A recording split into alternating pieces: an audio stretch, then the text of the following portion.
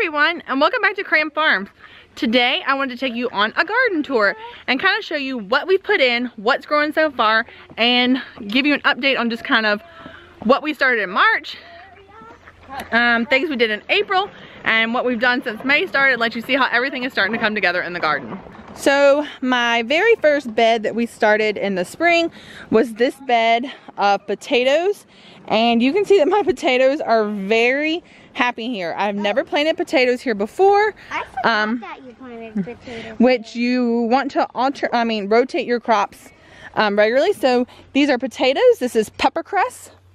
Um, that's actually spicy. It is kind of spicy. I let you taste some the other day, didn't I? it's pretty good when you first start chewing it and then all of a sudden it gets a little bit of a spice. A little bit of a peppery flavor after you start chewing it. Um, you'll see some, so I did put some seeds in um, a little later. And so this is some dino kale coming up. Here's some other dino kale. And then this is potatoes, potatoes, and I have hill bug bites. Yep, that's a piece of oregano. Mm, can I eat it? Sure. Yep, smells like oregano. All right, well eat it. Eat it. Smell it. Let me smell. Yep, you want to chew it up? So this is one good thing about having having um, food in the garden that you're not spraying and they can grab it right off and eat it. Um, and I don't have to worry about it. So this and is tomatoes you planted. Yeah. So these are potatoes. In between the potatoes, you can see um, this is some of the dino kale that I started in my greenhouse and just planted in between here. And it is extremely happy and I can't wait. There's a little bit to start. Mmm, it has good flavor. Start trying some of that. So potatoes again. Wait, you can eat the leaves off of it? Well, you can, but we usually let it get a little bit bigger before we start taking some of it off. Um, here is some rainbow Swiss chard in here. Which actually, now that these potatoes have gotten... Sure. Now the potato, well that's a potato, don't eat the potato. So now that the um, potatoes have gotten so big. What is this? That's kale. Um, the rainbow Swiss chard might not do as well. I might plant some more over on the end. Um, you can see where we did throw in lots of rabbit manure and fur from where she just had her babies and all. So that is giving lots of good nutrients to the soil and potatoes are obviously loving it there. That kale is, does taste as good. You like it? You like kale. Uh -huh. And the kale is so good for you. Lots of vitamins and minerals there. Mm. So potatoes, kale, and rainbow Swiss chard. And this bed now this is my bed and these two oregano plants, this one and that one, overwintered. Um, so, and they are just huge. I'm gonna, and I actually have already. Um, I know, I have pulled some up out of the bed already. Um, it will stay huge if you don't cut it back some. So this is the very first bed. Well, actually this is probably the first bed I planted. This is um, spinach See my spinach there. These are beets, lettuce, more beets. Um, I did throw a kale in here and some rainbow Swiss chard in here because I had a few extra that I, um, from the greenhouse. Um, more golden beets here. This is cilantro. We're gonna make tacos this weekend. Use some of that. Use, cilantro? Yeah, use some in our guacamole. These are radishes. The kids have loved. Look at that big one, Abby. The kids have loved coming out here and pulling up radishes. Oh, that's huge. I know. Yeah, pull it. You can go and pull it up. Pull it up, show it to oh, us. Oh, look how big.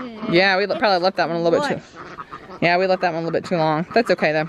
You know what? You can give it to the chickens, the ducks, um, and then more oregano here. So now we're over and look at the trellis that I started when I did my squash and cucumber companion planting video. And if you haven't seen that, I will link it below for you to see. But this is, um, is it ready to you can see the beans that I went around and planted on the outside of this bed. The beans are coming up. This is good. I'm glad you like that kale. We've got um, squash and zucchini in here. These are some radishes still. Um, there's still some carrots in here. Apparently they were left from last fall. But that's okay. They will um, keep on growing here. Yeah. They'll be fine. More beans. Um, on our trellis here on the other side, you will see um, we have started um, there is a pole bean coming up, an Armenian cucumber. Here are some nasturtiums. Now when these bloom out and the flowers will be really good in salads. What are those? A rat, little tiny radish. Oh! Coming up. That's very tiny. Um, Armenian cucumber.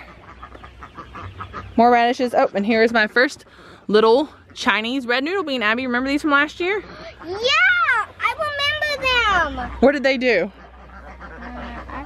What did they do, remember? Oh, they hang down from up there. Yeah, they did. They were cool. What color were they, remember? Um, purple. They're kind of a purpley, really dark red. And they would get really long. Is it time for us to pull this up? Ow. You can pull it if you want. Ow. We've got some, so yeah, so radishes, we'll get these little, let me see if I can get it on video. We'll get these little tiny spikes on here um, Ow. When they're big. So you won't actually eat these greens. You could um, juice the greens of a radish and um, use them that way. But um, we give them to our chickens and all the other animals can um, eat on those. So let's see. Um, there are a few cosmos coming up in that corner. Here are more, oh look, more beans coming up, beans. Bush, these are just um, Cut blue Lake bush beans. These are Boston uh, pickling cucumbers coming up here. There should be some more pole beans coming up soon. Radishes. So this bed is looking really good. We should start to see some marigolds coming up in the middle here. Marigolds? Yep, I planted some. I think that might be a few of them there. Um, so this bed is looking really good too. So these are our two that were trellised. And then this, I cannot wait. This is one of the, this is the first time that I have planted garlic. And you plant garlic in the fall. So you wait for a few frost on the ground. And then you put your garlic in. A banana And- peel? Yeah, you can see where we throw banana peels and stuff in over the winter. But this is my garlic bed. And I cannot wait to pull this up. And it's really not going to be that long. Um, June, so like next month, we should be able to start harvesting this garlic. And I just can't wait. It has done wonderfully here. And garlic, it actually does really well. Like if you leave it three years is when it starts doing really, really well. Yeah, I did plant some more radishes on the end down there with the garlic. So, we've got Buttercup. We brought Buttercup up to let her um, graze a little grass tonight. Um, we got chickens we're moving around the yard. Oh, here are our new friends in the garden. They are, this is their little area they're in charge of. They will be excellent at eating bugs, but they will not bother my plants and they can't get in my raised beds. So, Yep, apple tree we're gonna be moving. So there go our little ducks. I know, they're so funny to watch. They go by so fast. Oh, I forgot, we did plant some zinnias that are starting to come up in this corner over here. So we will have lots of flowers as well as vegetables coming up in um, our garden. All right, here is some purple opal basil. This is my other potato bed. There's a bean coming up there. We've got some marigolds in here. Oh look, we've got some weeds I need to come in here and pull up. More beans. I don't see my potatoes poking through in this bed yet, but, and then there's another purple opal basil. You can see all of that um, nice rabbit manure. Now, the one thing about rabbit manure is that it's cold, meaning that it is not going to burn your plants like chicken manure, and you don't really have to let it sit like you would chicken or um, cow manure. So, rabbit poop you can stick straight in your garden, and when it rains on it, it kind of makes like a compost tea, and all those nutrients just soak into the soil, and your um, plants will love it. So, that is one thing. You're still eating kale. That is one thing I really, really, really like about having rabbits. We always have good compost I just keep pulling um, that is ready for the garden and doesn't have to actually sit before you can use it. Careful there, girl. Ooh, okay. So let's go take a look at the cattle panels and things we have put in there. All right, so let's start up here at this cattle panel now. This is the one where we just put tomatoes in um, a couple of days ago. So we have tomatoes, eight tomatoes down here. On the other side, we have peppers, we have cucumbers, we have squash and zucchini. We have several places where we have flowers put in, um, basil. So but the whole front here is tomatoes. And on the back side, we have peppers. Um, that's a cucumber, squash, more peppers, Is this a squash? um, sweet basil. So we've still got to put some wood chips down here. We still got to put wood chips down here, but otherwise planting wise, it's all on the ground. On the other side is the 32 feet we did of more peppers, squash, flowers. It doesn't look much different because it was just done the other day. um, tomatoes, peppers, squash. So all the way down. And then the far end is where we put in um, pole beans and then the two hills. I don't know why they put two poles here. The kids have been playing. Two hills of corn. So we're waiting for that corn to come up before we put in the three sisters, which is where our squash and more beans will go. Hey, look, I got some blueberries coming.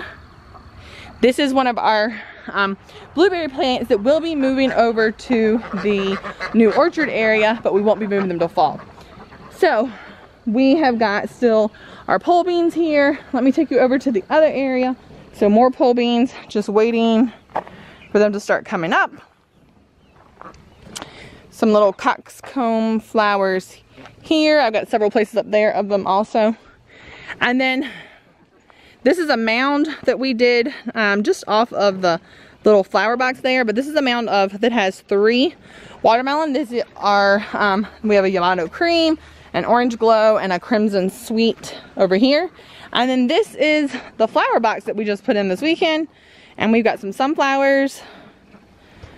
Um, and then cosmos that we had started in the greenhouse. And then I have sprinkled seeds of cosmos and zinnias all throughout this bed. So it will bring in not lots of pollinators and give some pretty color to the garden area. So I am pretty convinced that even though my garden is not what I wanted it to be this year just because of um, the delay with stumping and not having my raised beds up like I wanted, I am now convinced that if you are determined and you want to grow food for your family, you will find a way. So whether it is putting up some temporary areas with cattle panels, um, putting some mounds in the ground. So this is also just like we did in the front with newspaper on the bottom. Soak that newspaper down, put in your good dirt, and then plant. That's all that is there. And being that this is gonna be garden space, it doesn't bother me that I've got newspaper and dirt here on the ground. I'm gonna use all that in my garden anyway um, in the future because once the shed is moved, this is still gonna be garden space. So any good dirt, any amendments I do to the soil in here, even though it was right on the ground, is still gonna benefit me in the future. So I have no problem putting this in the ground. Now you may be looking at my backyard and thinking, hey, you're running out of space. Well, we have lambs mowing the grass over there. We have the cow up here. She's only up here just because I'm getting ready to milk her. And um, so I brought her up here and let her eat a little bit of this area. We are moving chickens across the grass over here. Um, we have meat rabbits over here. We have our chick our meat chickens that we are growing over here. We have egg layers. We have egg layers in the pasture. You can grow food on not a lot of space. And I'm convinced that if you want to and if you were serious about growing food for your family, you're going to find a way. The first part of that though is to try. Try, try, try. You're gonna make mistakes. You know what? I've probably made some mistakes in this garden this year. I'm not gonna say that I haven't. In past years, I've made tons of mistakes. You learn every single time. I'm gonna tell you, um, this weekend we lost one of our bucks from um, our rabbits. And rabbits are new to us. Um, we don't know if he got too hot. We don't know if it was just his time to go. We don't know what happened with him. But like I'm saying is you are gonna learn every single thing that you do and everything that you try. You know we lost a buck and Riley lost his rabbit and he was heartbroken. Actually Abby cried for an entire day um, from losing that buck but you're gonna learn. And so we learned, oh, maybe he got too hot. We did actually move the hutches to another area now so that maybe um, the sun was getting on him. Yesterday and today it's been in the 80s, so we did give them um, like frozen water to lay up against in case the others were getting hot. You know, he wasn't even a year old yet, so it's just kind of uncommon for him to die that quickly. But, you know, maybe we made a mistake, but maybe we learned something off of that too, and it'll make us better rabbit um, owners in the future. The exact same thing goes with your garden. Um, make mistakes. It is okay. You will learn every step of the way and it's just gonna improve your gardening every single year. So I wanna do more of these garden tours. I want you all to see how the garden progresses through the year, see the mistakes that I make, see things that I'm learning from what we're doing out here. Um, and hey, you all have probably been gardening longer than me, some of you. Give, share tips below, you know, comment Um, do you think there's something I should have done differently? You know, what are you doing in your garden? Tell me what you're planting. We can all learn together and I love that we have this platform where everyone can share and can learn. So I want to do several more of these and just show you what the garden looks like as it progresses through the year and as we keep putting more food in and developing more places to put food um, I'm going to share all that with you too. So don't forget to give our video a like, hit the subscribe button on your way out, and we'll see you next time right here at Cram Farms. Y'all have a great day.